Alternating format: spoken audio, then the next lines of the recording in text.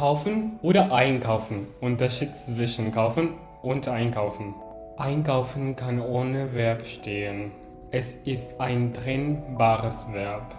Und die Konjugation ist ich kaufe ein, du kaufst ein, er, sie, es kauft ein, wir kaufen ein, ihr kauft ein, sie kaufen ein. Wir benutzen einkaufen, wenn wir viele Dinge kaufen. Zum Beispiel kaufe ich im Supermarkt ein.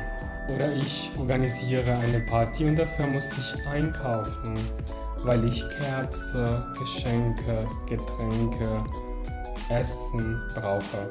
Der Einkauf. Man bringt seinen Einkauf zur Kasse. Es ist schon spät, aber wir müssen noch einkaufen. Wir müssen schnell in den Supermarkt und einige Sachen kaufen. Kaufen. Kaufen benutzt man mit einzelnen Sachen oder bei größeren Investitionen. Es braucht immer ein Objekt.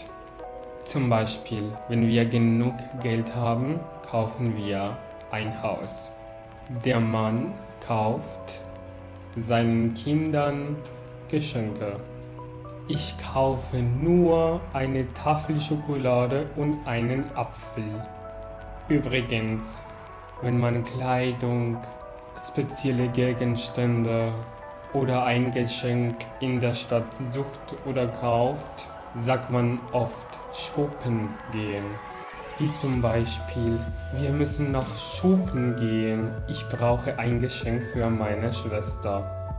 Meine Tante ist gestern shoppen gegangen und sie hat ein unglaubliches tolles Kleid gefunden.